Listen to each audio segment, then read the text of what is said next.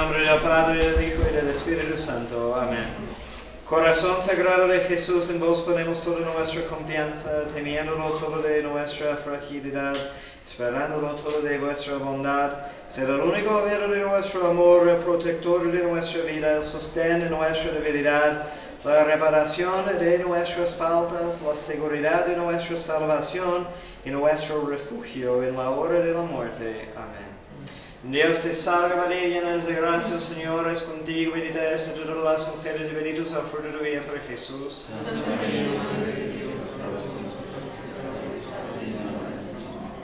San Pedro, ruega por nosotros. En el nombre del Padre, del Hijo y del Espíritu Santo. Amén. Una- un, un- un comentario um, sobre este, um, esta noticia. Um, y como dije, en la, en la semana que entra vamos a dedicar toda la clase a practicar eh, más um, a fondo sobre la liturgia. Pero um, como dije, eh, va a ser algo de prueba. Entonces queremos tener mucha prudencia también sobre eso, ¿no? Por ejemplo, si, si vas informando a tus conocidos sobre eso, es importante mencionar que fue un permiso concedido por Roma. No es capricho nuestro para hacerlo, porque ha habido algunas parroquias que, pues, que, han tomado la decisión por su cuenta y no, no es correcto.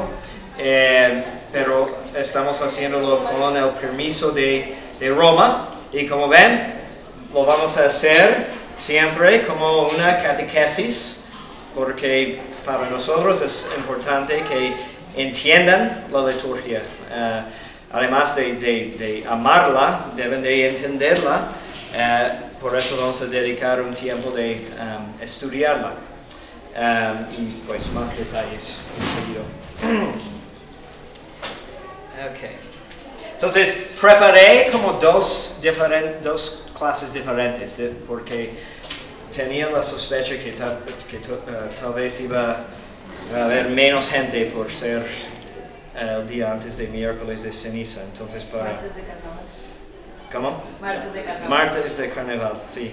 Eh, entonces, lo, lo que pensé hacer es eh, hacer un pequeño estudio, un comentario esta vez sobre, eh, es obvio que me gusta mucho la, la epístola de- del domingo pasado porque es muy rico de eh, um, enseñanzas de teología.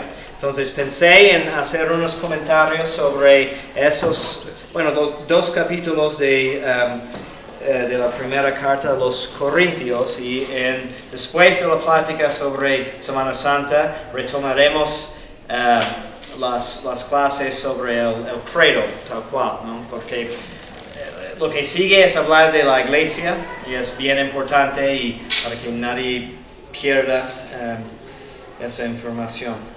Aunque eso es muy interesante también. Eh, entonces, en um, eh, primera carta a los Corintios, ok, eh, capítulo 12, San Pablo está hablando sobre los dones carismáticos. ok. Creo que mencionamos algo de, de eso, eh, tratando del tema de- del Espíritu Santo. Pero empieza a hablar de todos esos, esos fenómenos de, hablar en lenguas, profecías, eh, sanaciones, etcétera, etcétera. ok. Y, es interesante. Y obviamente los corintios tenían mucho, mucho interés en estos dones que existían en los primeros eh, años de la iglesia, según um, um, los um, teólogos, que hubo más profusión de dones más extraordinarios en esos siglos porque fue necesario llamar la atención de, un mundo pa- pagano ¿ok? para que se establezca la, la iglesia. ¿ok? Pero luego eh, empezaron a ser menos comunes. Y ha, ha sido una tendencia desde el principio, ¿no? De, de, eh, hasta hoy en día, de tener mucho interés en eh, las cosas más como fantásticas. Pues porque es muy interesante si alguien puede hablar en otro, otra lengua, si alguien puede predecir eh, um, eh, el futuro, etc. Si vemos un- una curación increíble, ¿no? Pero es, eh, debemos de entender que hay, de- hay, podemos hacer, hay muchas divisiones de gracias, ¿ok? de diferentes gracias. Y hemos hablado de, de- de, um, varias. Pero eh, lo que es importante aquí es distinguir entre gracia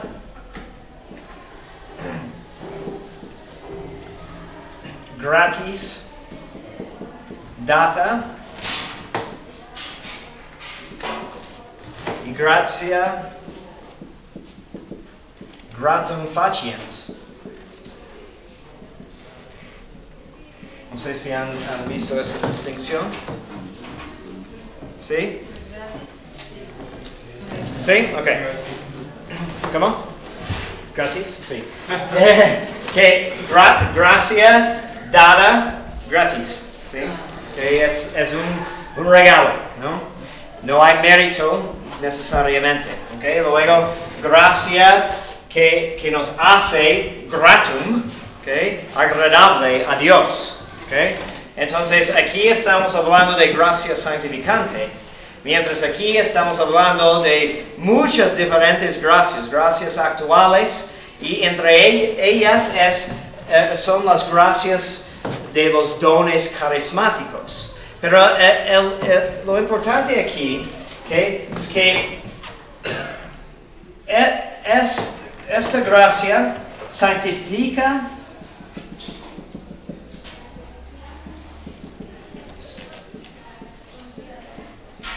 quien la posee. ¿ok? Mientras estas gracias.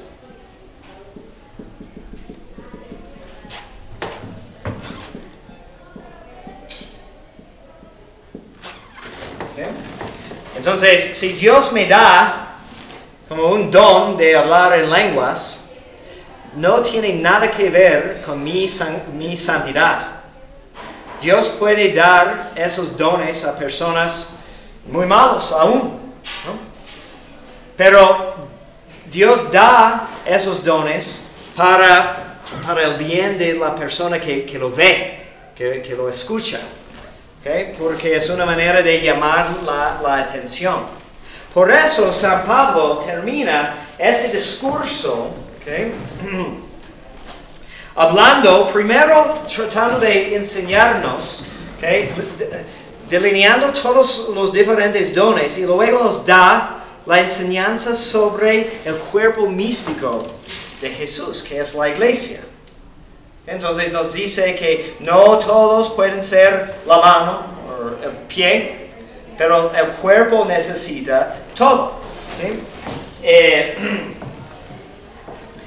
Así tam- también el cuerpo no se compone de un solo miembro, sino de muchos. Si dijera el pie, puesto que no soy mano, yo no soy del cuerpo, ¿dejaría de ser parte del cuerpo por eso? Y si el oído dijera, puesto que no soy ojo, no soy del cuerpo, ¿dejaría de ser parte del cuerpo por eso? Si todo el cuerpo fuera ojo, ¿dónde quedaría el oído? Y si fuera todo oído, ¿dónde el olfato? Ahora bien, Dios puso cada uno de los miembros en el cuerpo según su voluntad. Entonces, los diferentes dones, los diferentes miembros, ¿ok? Son parte de una sola iglesia, edifican la iglesia y es para el bien de la comunidad. ¿ok? También la gracia santificante es para el bien de, de- de- de- todo el cuerpo, pero su, eh, su meta principal es la santificación de la persona que, lo tiene, que la tiene conformándolo a, Dios. ¿ok? Pero a pesar de la utilidad de, todos esos dones, ¿ok? Eh, San Pablo quiere que entendamos que no son los más importantes. ¿ok? Porque dice al final, ¿acaso todos son apóstoles, todos profetas, todos maestros, todos con de milagros, todos con carisma de curaciones, hablan lenguas todos, interpretan todos, aspirad a los carismas superiores y aún os voy a mostrar un camino más excelente. ¿no?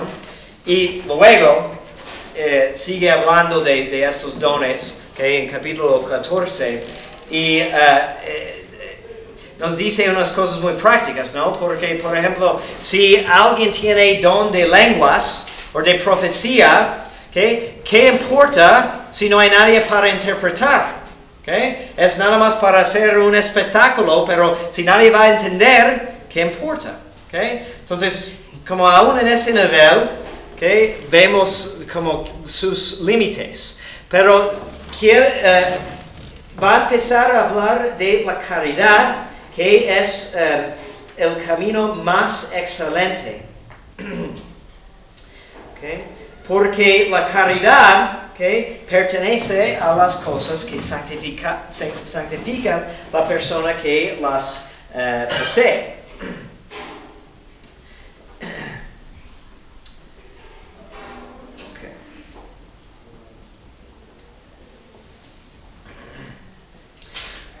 Y es, es- este capítulo de, de Corintios está considerando, considerado como uno, bueno, aún en el mundo de literatura, muchos lo consideran entre la- los mejores poemas o discursos eh, que, que- que ha, ha sido escrito por la elocuencia con que habla San, San Pablo. ¿ok? Entonces nos, eh, nos habla, hace las comparaciones ¿ok? entre dones muy impresionantes y el valor de la caridad. ¿Ok? Y aquí llegamos a un punto muy clave que es, es útil para considerar en, en la cuaresma, de que caridad es lo que da valor a todos los, los hechos. ¿ok? Teniendo caridad en el alma, tenemos la posibilidad de merecer. Pero sin caridad podemos hacer las obras más extraordinarias y será de ningún provecho para nosotros. ¿ok? Entonces, habla aquí de tener la fe, la fe de mover montañas. Pues así dijo nuestro Señor, ¿no? Si creen, ¿no? Si, si- tu fe es como de, una semilla de mostaza, tendrá, tendrás poder para mo- mover las montañas. ¿ok? Esto es impresionante, ¿no? Pero está diciendo que uno puede hacer eso. Uno puede tener fe muy fuerte, pero que sea de ningún provecho para la persona que la tiene, si no está de un motivo de caridad. Porque al final de cuentas tenemos que dirigir todo lo que hacemos al amor eh, de, de Dios. Entonces no estamos rezando todo el tiempo, ni siquiera estamos pensando en Dios necesariamente todo el tiempo. Pero mientras tenemos el propósito de hacer todo de un motivo de caridad, entonces todo lo que hacemos eh, llega a tener posibilidad de ser santificante y meritorio. Santo Tomás tiene un comentario muy largo, muy interesante sobre es- estos capítulos y dice que eh, San Pablo está dividiendo los diferentes dones en, tres categorías, de dones de, la palabra, dones de la ciencia y dones de, obras, ¿no? Pero quiere eh, ubicarnos con los que han pasado de una vida de, de- de actos muertos a los que ya tienen posibilidad de vivir en actos eh, vivificantes, santificantes. Entonces dice que si hablo, si hablo eh, todas las lenguas de hombres y, y de ángeles, y si no tengo la caridad, soy eh, como, eh, como una campana que suena, símbolo que retiñe, sí. Como- soy como bronce que suena o símbolo que retiñe.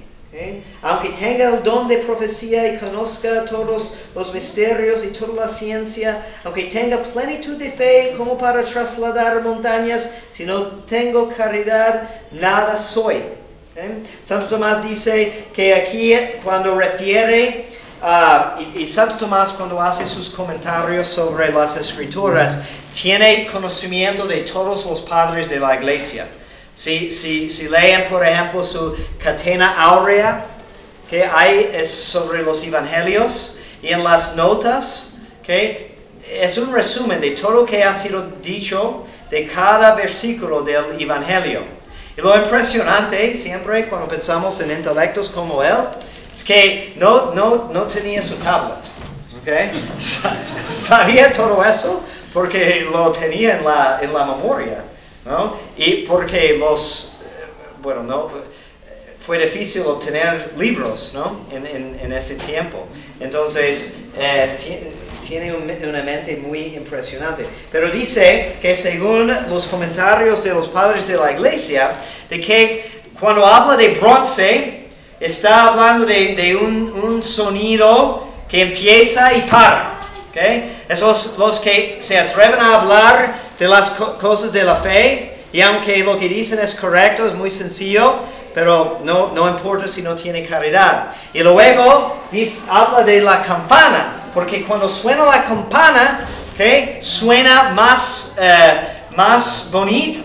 ¿ok? Puede, es como, puede hacer música con campanas. ¿sí? Entonces, habla de los que, que pueden explicar las verdades de la fe, aún con mucha elocuencia. ¿Ok? Pero aún para ellos, aún que sea un maestro de mucha inteligencia, si no tiene caridad, ¿qué importa? ¿no? Y Santo Tomás pregunta, cuando, habla, cuando dice de los que tienen ah, conocimiento de todas las lenguas de, de- de hombres y de ángeles, pregunta, ¿qué quiere decir por lenguas de ángeles? ¿Ok? Según yo, los ángeles ni tienen cuerpo, como tienen lengua. ¿Ok? ¿Qué, qué idioma hablan? ¿Ok? Pero dicen que aquí debemos de entender los que tienen la responsabilidad de explicar la doctrina. Está hablando de los, clérigos que exponen doctrina sagrada. Por eso dice lenguas de ángeles. Entonces, dice que aún un predicador, aún un obispo que puede explicar todo, que puede conmover la gente con su elocuencia, si no tiene caridad, es, es como, como nada. ¿no? Y es muy fuerte. Dice, no, si no tengo caridad, nada soy. ¿ok? Luego habla de- de- de- de las obras. ¿Ok? Los que reparten todos sus bienes. Y pensamos en los filántropos, ¿no? que, que quieren parecer bien delante del mundo, tal vez, o quieren sentirse bien. ¿no? Yo pienso como, lastimosamente, de uno como Bill Gates, que da muchísimo dinero a caridades, ¿no? Y dicen que su esposa era católica, ¿ok? Pero dan su- su- sus bienes a, bueno, me imagino que parte de lo que da va para fines buenos, pero también otra parte va para fines malos. Pero si no está viviendo en gracia, ¿qué importa? ¿no? Aunque da millones y millones de, dólares. ¿ok? O aún los que entregan, si entrego mi cuerpo las llamas, si no tengo caridad, nada me aprovecha. ¿ok? Es decir, si, si sacrifico mi vida. ¿ok? No sé si tienen esta cultura aquí, pero nosotros damos mucha importancia, por ejemplo, a los valores militares, ¿no? De, de- del sacrificio para la patria, ¿no? Y la valentía de, de los soldados, que es to- totalmente correcto, ¿no? Que hay honor en eso, hasta cierto punto, ¿no? De uno que está dispuesto para sacrificar algo para el bien de la sociedad. Pero, eh, ¿de qué valor es? ¿ok? Si, si, por ejemplo, no es muy, eh, no es em, raro, por ejemplo, que, que em, los, em, ¿cómo se llama donde duermen los soldados? Los, eh, Barracas. barracas están llenos de pornografía, ¿no? Imagínense, ¿no? Antes de ir a la batalla, está ofendiendo a Dios en esta manera, ¿no? Y qué, qué desperdicio de una vida, ¿no? Porque es de poco provecho si no tenemos caridad, ¿ok?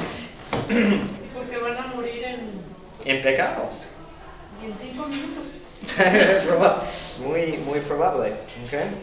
Eh, y luego nos, nos dice todas esas características de, um, de, la, de la caridad. ok. Eh, como en otro lugar habla de como la ciencia ciencias eh, eh, ensoberbece, mientras la caridad edifica. Ensoberbece. Ensoberbece, perdón. Y luego habla de, de hacer milagros y todo eso, fe de mover montañas. En otro lugar, el Señor habla de eso, ¿no? de los que van a venir ¿ok? a decir al Señor, ¿no? hicimos milagros en, en tu nombre. ¿no? ¿Y qué dice el Señor? No los conozco. ¿ok? Sí, es posible que, que Dios puede, por ejemplo, en, en, en, ah, no sé, templos protestantes, ¿no? Puede haber una, una predicación muy elo- elocuente ¿ok? que es útil para ayudar a la- las personas allí, ¿no? Porque Dios no está faltándoles las, las gracias para moverles a la conversión, ¿ok? Pero esa predicación no, no aprovecha la, la, la persona, no es del provecho de la persona que está predicando, ¿ok? Y aún puede haber milagros entre otras sectas y todo eso. Pero si no están en la gracia de, de Dios, entonces es por otro, otro fin y no por el bien de, de esa persona. ¿ok? ¿Ok? Porque sabemos que cuando al final habla de las tres virtudes teologales, fe, esperanza y caridad. ¿ok? Y es muy interesante ¿ok? porque ya, ya hemos hablado de esas virtudes y se distinguen porque tienen como su fin, su objeto, Dios. Mientras las otras virtudes tienen el fin de perfeccionar, son- están dirigidos a las capacidades de- del ser humano, a su perfección. Esas virtudes son superiores porque tratan más directamente ah, con, Dios. Entonces, y, y todo se relaciona. Fe, esperanza y caridad.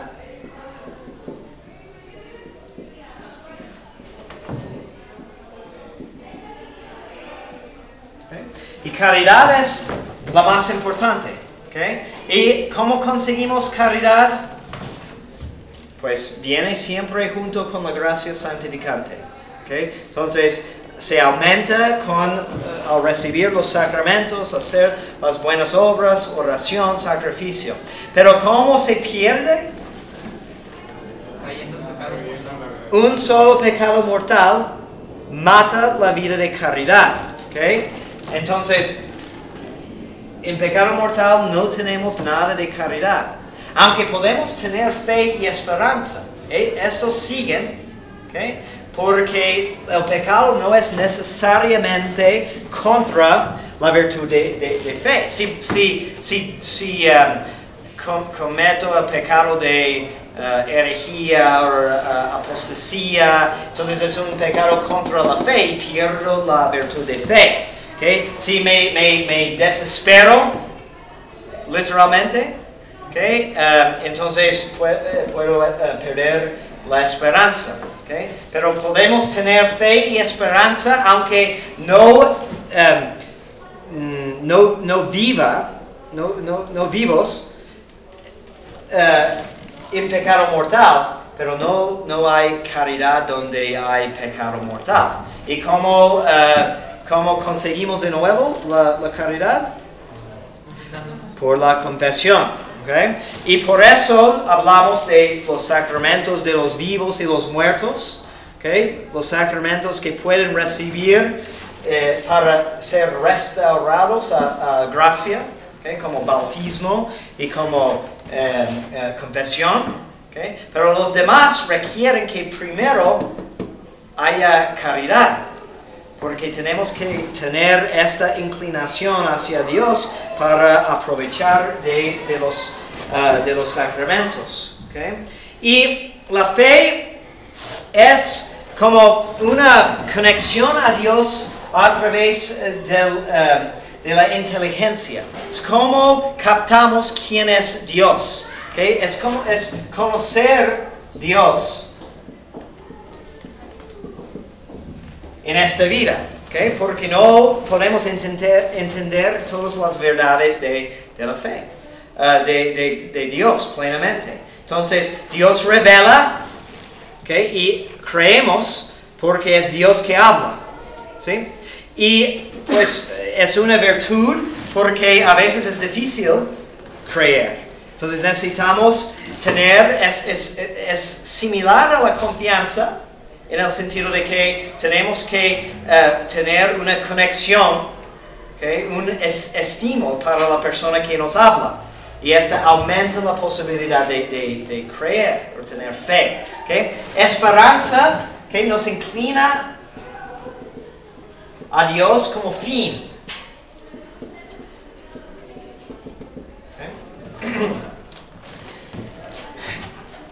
Entonces la, virtud de, esperanza, fe tiene que ve- venir primero, porque necesitamos percibir qué es la, meta. ¿ok? Y luego eh, genera un deseo para lograrlo, para tenerlo. ¿ok? Y la caridad ¿ok? es eh, lo que nos asemeja a Dios. Y San Pablo termina aquí con estas palabras eh, muy bonitas. La caridad no acaba nunca. Desaparecerán las profecías, cesarán las lenguas, desaparecerá la ciencia. Porque parcial es nuestra ciencia y parcial nuestra prof- profecía. Cuando venga lo perfecto, eh, desaparecerá lo parcial. Cuando yo era niño, hablaba como niño, pensaba como niño, razonaba como niño. Al hacerme hombre, dejé todas las cosas del niño. Ahora vernos en- ve- vemos en un espejo en enigma, entonces veremos cara a cara. Ahora conozco de un modo parcial, pero entonces conoceré como soy conocido. Ahora subsisten la fe, la esperanza y la caridad, estas tres, pero la mayor de todas ellas es la caridad. ¿ok? Y puede decir que subsisten o, siguen ¿ok? estas tres porque se transforman. Según esta analogía, que cuando uno es niño y luego se convierte en adulto, ha cambiado pero sigue igual, sigue siendo la misma persona, pero con diferencias muy importantes. Entonces, la fe. ¿va a haber fe en el cielo? No, No. ¿Por qué? Porque ya vimos la presencia de Dios. Sí, ¿ok? Entonces.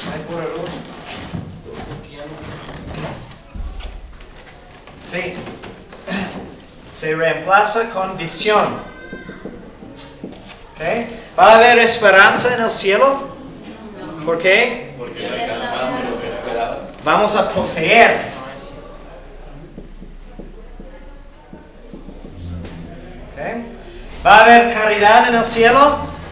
Sí. ¿Ok?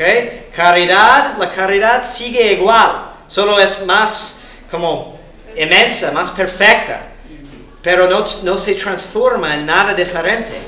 ¿Ok? Y esto es un misterio impresionante para meditar. Que la caridad que tenemos, eso es porque debemos de apreciar sobre todas las cosas lo que es estar en gracia. ¿Ok? Porque es ya la vida eterna que ha empezado. ¿ok? Y debe de, ti- tiene una, um, um, un movimiento siempre hacia arriba, siempre tiene que ir creciendo. ¿ok? O estamos en peligro de, de perderla. Y por eso dice San Pablo que ahora vemos como en un espejo y luego veremos cara a cara. ¿Ok? Y hay muchos niveles aquí ¿ok? de, a, a que está ref- refiriendo. ¿ok? Muy rico esto. Porque está hablando de griegos. Eh, que eran paganos y tienen esta tendencia de regresar al paganismo, ¿no? Y si se acuerdan de lo que pasó.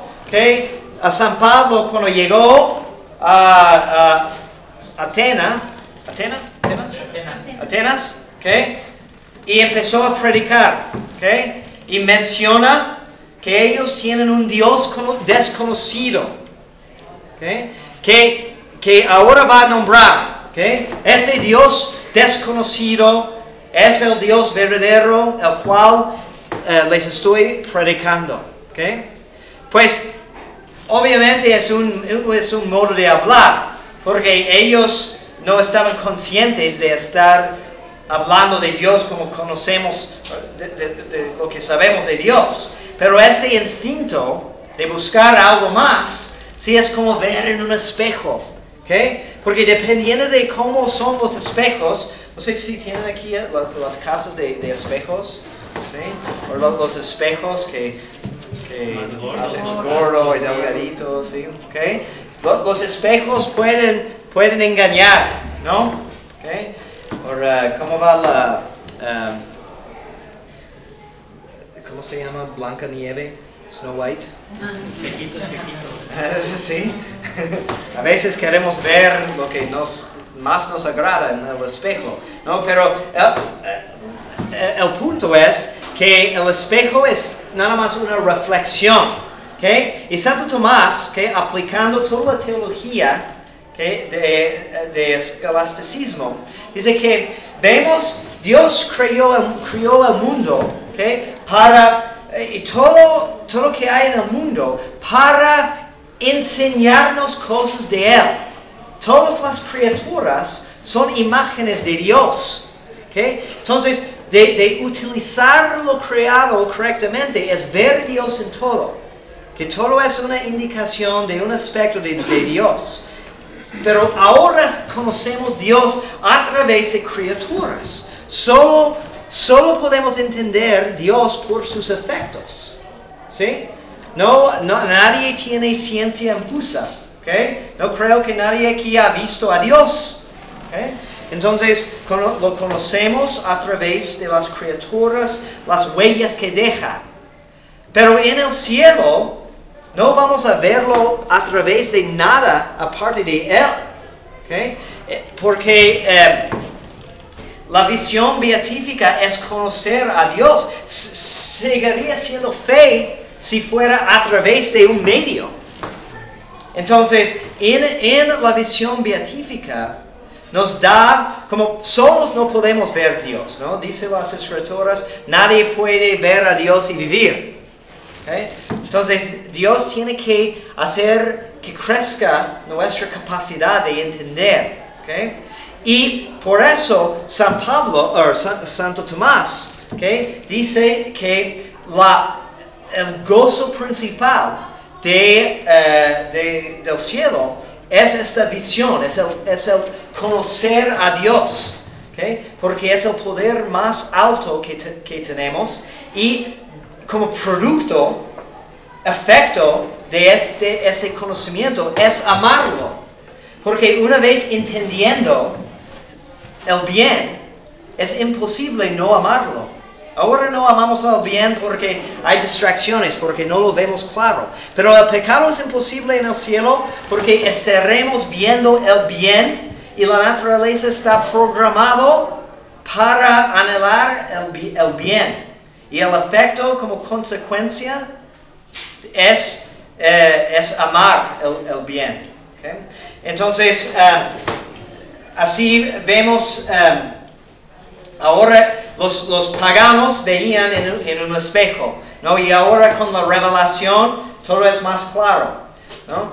O está eh, hablando de los que se dedican a practicar, ¿no? de, de hacer, tratar de parecer buenos, ¿ok? y, y por esfuerzo natural, ¿ok? tienen apariencia de virtud, pero es de poco provecho porque no hay caridad. Entonces esa es la diferencia de una imagen en un espejo y la verdad, ver cara a cara. Y luego está hablando de todo lo que nos prepara aquí en la tierra, ¿ok? como tener su perfección en el, en el cielo. ¿ok? Y eso es lo que eh, eh, significa principalmente este, eh, esta frase final, o eh, casi final, de ver ahora en un espejo y luego cara a cara. ¿ok? Porque cuando, ven, cuando venga lo perfecto, desaparecerá lo parcial. Toda la preparación no tendrá importancia porque habremos logrado eh, como la meta de todo eso.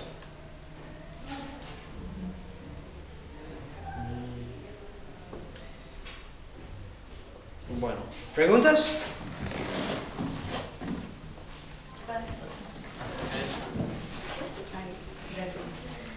Eh, decía sobre alguien en pecado mortal que no tiene absolutamente nada de caridad. Pero, ¿qué hay de las personas que no tienen mucho sentido del pecado mortal? O sea, que son más ignorantes. Entonces, que no están muy conscientes de la gravedad de sus pecados, entonces tampoco cero caridad de ellos. tampoco. Pues no, no puede caer en, en pecado mortal sin conocer, ¿no? Recordamos los- las tres condiciones para pe- pecado mortal. Entonces, tenemos pleno conocimiento. ¿ok? Entonces, podemos hablar de pecados formales o materiales y formales. material es decir que la cosa es grave y aún estar en eh, cometer pecados de materia grave aunque no son formalmente pecados está mal no no podemos decir que si tú no sabes que los anticonceptivos son malos no te voy a decir ¿ok? porque mientras no tengas culpa mejor no, no, no, porque estamos como rompiendo con la orden del universo por pecar. Pero la formalidad de- del pecado depende de- del conocimiento y la libertad también. Formal quiere decir que tiene la, la verdadera forma del pecado. Entonces tienen caridad. Sí, pueden eh, seguir en caridad aunque, aunque eh, Cosas graves. están pecando. Me- nos dieron en una clase un ejemplo de, ah, de, de un muchacho que como había perdido su, ah, su sentido de, de saber, de, gusto, ¿sí? ¿ok? Y dice, no, no, nos lo contó como si fuera verdadero, eh, lo dudo, pero de este muchacho que le, le gustaba correr, ¿ok? maratones, ¿no? Entonces llegó después de correr mucho y a- alguien había dejado un vaso ¿ok? que parecía como agua. Entonces tenía mucho, mucha sed, ¿no? Pero en realidad era boca. Pero como no podía saber, Vodka. boca. Ah. Boca, sí.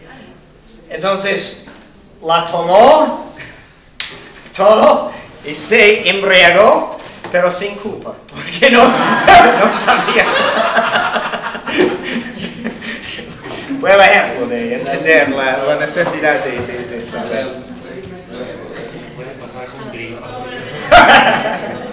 Comentaba de, de una predicación de un sacerdote y mm, que eso, si no tenía caridad, no era en provecho suyo, Ujú. Pero puede aprovechar a las personas Sí, que sí. No, esa es la, esa es la- la maravilla de, de cómo Dios utiliza instrumentos indignos, ¿no? Porque no, no hay necesidad, por ejemplo, de, de preguntar al padre en la sacristía, eh, ¿está confesado? Antes de acudir a misa, ¿no? Porque si celebro la misa en pecado mortal, es horrible para mí, ¿no? Pero para los fieles es, es una misa, es una misa válida, ¿ok? Y no tiene que preocuparse por la dignidad del sacerdote. Hubo toda una herejía eh, sobre, sobre eso, de los donatistas. Ujú. Entonces, los no bautizados no, no pueden tener caridad. No. Cari- hay, hay una. Hay caridad en, en un sentido más general, ¿ok? Como cuando hablamos, porque caridad y amor son como sinónimos, ¿ok? Aunque podemos eh, distinguir caridad por tener un significado ahora más teo- teológico, ¿ok? pero tal cual caridad y amor son como parecidos y hay, hay una inclinación aún natural, ¿no? Es como un instinto para Dios o es evidencia de gracias actuales, ¿no? Cuando hay un impulso de, ten- de tener piedad para alguien que está sufriendo. Entonces parece como un acto de caridad y es similar, pero no es con caridad sobrenatural. Es un afecto natural, que una inclinación de, ah, de tener empatía para los demás. Pero San, San Agustín tiene un tratado sobre eso, ¿no? Si hay algún mérito ah, ah, para lo- los, las buenas obras hechas sin estar en estado de gracia. Y dice que probablemente sí hay algún provecho por la persona, porque Dios va a recordar que lo que hizo la, persona, Dios va a tomar en cuenta y va a estar dándole más gracias para que se convierta. Ah, sí, perfecto. Ujú. Pues de hecho, si lo pensamos, el arrepentimiento y el dolor de los pecados, Ujú. cuando es de un pecado mortal, siempre es sin caridad, porque Sí, por eso la gracia de arrepentimiento, hay tres gracias importantes que no podemos nunca eh, merecer. ¿ok? La gracia de conversión, de arrepentimiento,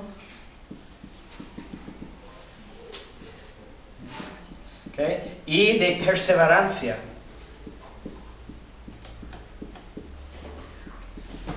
Porque mé- mérito, perseverancia, mérito es estar obran- obrando bajo el impulso de gracia, de motivo sobrenatural. Entonces, si no hay gracia, entonces no podemos, es imposible merecer. No, especialmente, podemos merecer, merecer entre nosotros, pero con Dios, ¿quién puede decir que Dios le debe algo? No. ¿ok? Eh, entonces, conversión en el principio es una gracia totalmente gra- gratuita. ¿ok? También de arrepentir es, es igual, ¿no? Habiendo perdido la gracia es como nueva conversión. Pero si caes en pecado mortal es porque no queremos atrevernos a decir que ahora peco, mañana me convierto, porque no hay ninguna garantía que Dios te va a dar esa gracia de arrepentimiento. ¿Sí? Mañana cuando reciben las cenizas deben de estar pensando eso. ¿ok? Tal vez el próximo pecado mortal será mi último. Porque es según la disposición de, disposición de Dios si quiere darme la gracia de arrepentirme. Y perseverancia final, ¿ok?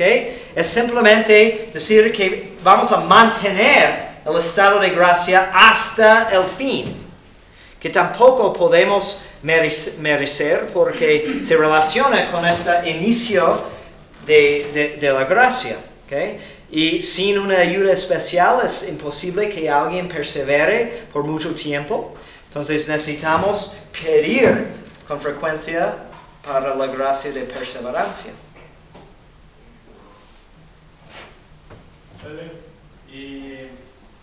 los protestantes que siempre usan esa, ese versículo que mencionaba ahorita de que ahora vemos a Dios como en un espejo, pero entonces lo veremos cara a cara, eh, o sea, justificando sus formas de pensar y todo. Solamente hay que decirles que, que ese versículo en específico se refiere a la visión beatífica. ¿verdad? Eso es lo que dice eh, Santo Tomás. Y como la tradición de los, eh, de los padres de la iglesia siempre era ver e- este um, versículo referente al- al- a la visión beatífica. ¿ok? Porque en realidad, aunque tal vez lle- llegamos a tener más, más claridad, es, estamos hablando de mundos distintos, de ver Dios cara a cara y verlo por medio del espejo. Lo mejor es que tal vez hay, ah, hay un um, como um, un entendimiento o algo que nos ayuda a, a como limpiar un poco el espejo para que veamos un poco más claramente, pero no, no de tanta diferencia. Padre, ahorita eh, comentaron, eh, dijo de que la caridad es como un sinónimo del amor. También hay algunas traducciones que en vez de caridad lo traducen como el amor. Sí, El amor sí. es paciente. Ajá. Eh, pero ¿es, ¿es exactamente la misma palabra o tiene alguna diferencia? O, o- Pues eh, tenemos, tendré- tendremos que verlo ¿no? como en, en lo original, en el original, ¿no? Porque eh, no tengo el griego aquí, pero por ejemplo, eh, eh, um, la mayoría de, de- del Nuevo Testamento fue escrito en griego, ¿no? Y las distinciones que tenemos de, en griego de, de tres amores dif- diferentes, ¿no? Y qué es la traducción en, um, eh, por ejemplo, al latín, ¿ok? Ah, a ver si tengo aquí la latín. ¿ok? Entonces solamente es una distinción como de traducción, pues no... no No, porque los, los teólogos ven um, distinciones, ¿no? Que hay, hay una gran diferencia, por, por ejemplo, hablando de, de, um, eh, del griego, ¿no? De hablar de agape, ¿no? O eros. Y distinguen, los, los filósofos hacen la distinción entre un amor que es romántico, ¿ok? Y un amor que es más como inclinado a sacrificarse, más generoso, ¿no? que aplicamos principalmente a, Di- a Dios, ¿no? o amor de eh, filios, que es amor de amistades. ¿ok? Entonces, me, me caes bien, ¿ok? pero es obviamente muy distinto que eh, enamorarse. ¿no? Y en, en diferentes idiomas tienen muchas distinciones. En, en inglés el, el idioma es pobre en este sentido porque decimos como I love pizza y, y I love you and I love Dios, uh, God.